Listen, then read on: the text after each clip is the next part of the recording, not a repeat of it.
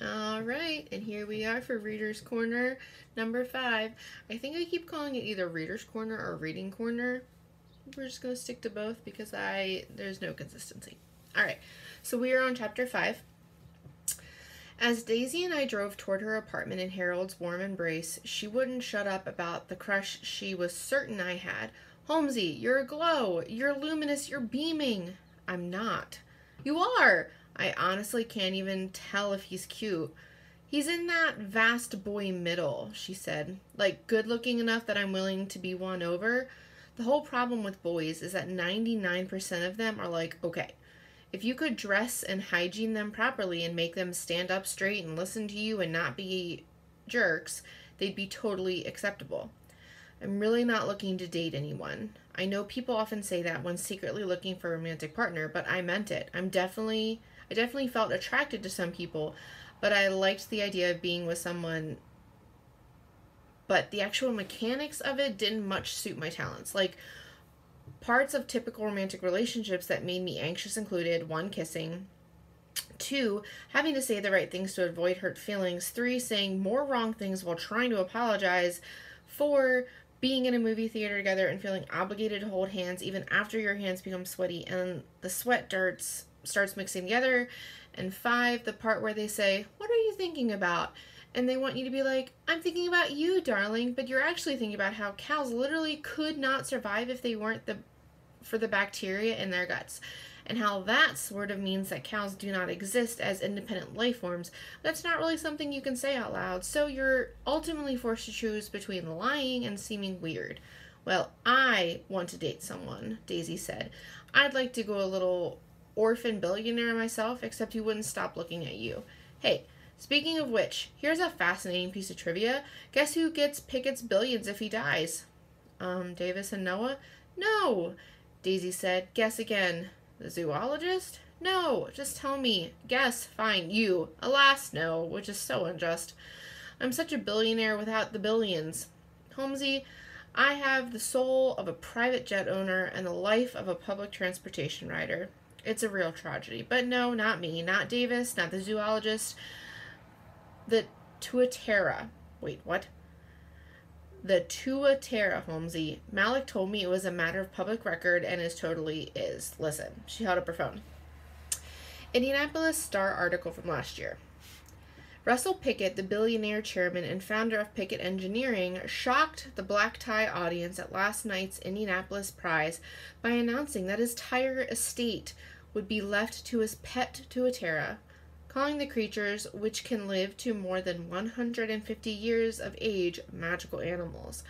Pickett said that he had created a foundation to study his Tuatara and provide the best possible care for it. Through investigating Tua's secrets, he said, referring to his pet by name, humans will learn the key to longevity and better understand the evolutions of life on Earth. When asked by a star reporter to confirm he planned to leave his entire estate to a trust benefiting a single animal, Pickett confirmed, My wealth will benefit Tua and only Tua until her death. After that, it will go to a trust to benefit all Tuatara everywhere. A representative of Pickett Engineering said that Pickett's private affairs had no bearing on the direction of the company. Nothing says. Wait, I lost my place. um. Nothing says, ha, to your kids, quite like leaving your fortune to a lizard. Well, as you recall, it isn't a lizard, I pointed out. Holmesy, someday you're going to win the Nobel Prize for being incredibly pedantic, and I'm going to be so proud of you. Thanks, I said. I pulled up outside Daisy's apartment complex and parked Harold. So, if Davis's dad died, he and his brother get nothing. Don't you at least have to pay for your kids to go to college or something? Dunno, she said. But it makes me think Davis really would turn his dad in if he knew where he was. Yeah, I said. Someone has to know. He needed help, right? You can't just disappear. Right, but there are so many possible accomplices. Pickett has like thousands of employees, and who knows how many people working on that property. I mean, they have a zoologist.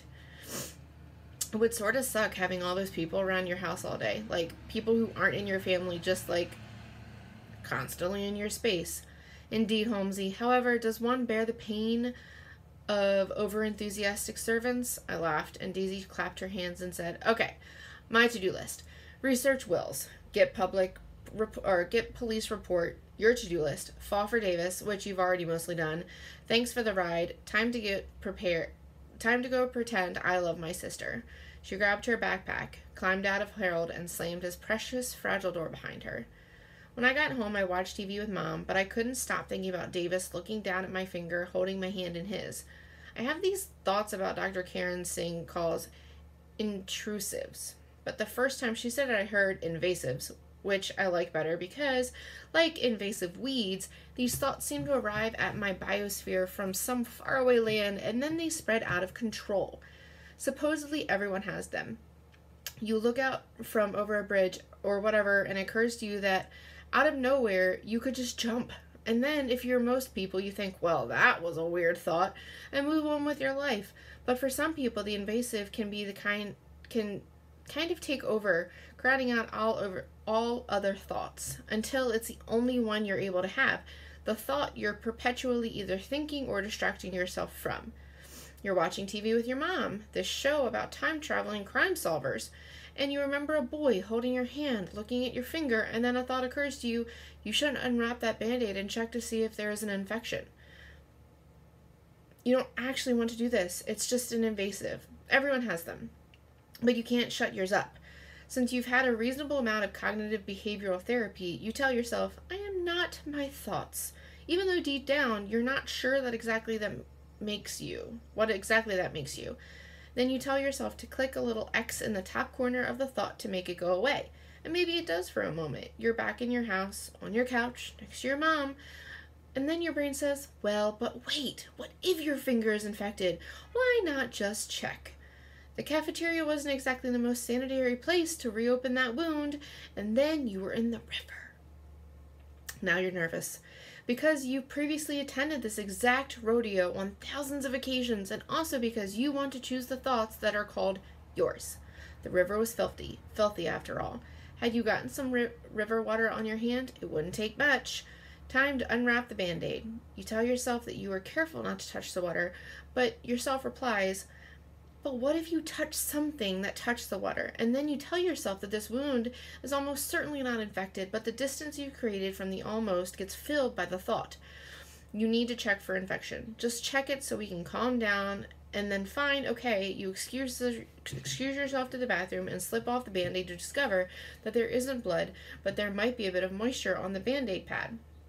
You hold the band-aid up to the yellow light in the bathroom, and yes, that definitely looks like moisture. Could could be sweat, of course, but also could be water from the river, or worse still, seropurulent drainage, a sure sign of infection. So you find the hand sanitizer in the medicine cabinet and squeeze some onto your fingertip, which burns, and then you wash your hands thoroughly, singing your ABCs while you do so to make sure you've scrubbed for the full 20 seconds recommended by the Centers for the Disease Control. Hmm.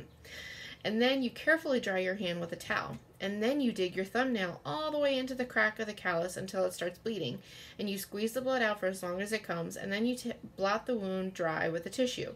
You take a band aid from inside your jeans pocket, where there is never a shortage of them, and you carefully reapply the band aid.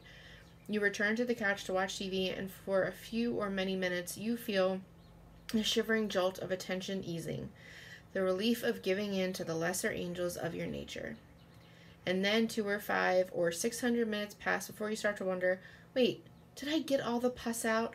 Was there pus even, or was that only sweat? If it was pus, you might need to drain the wound again. The spiral tightens like that forever. All right, that's chapter five.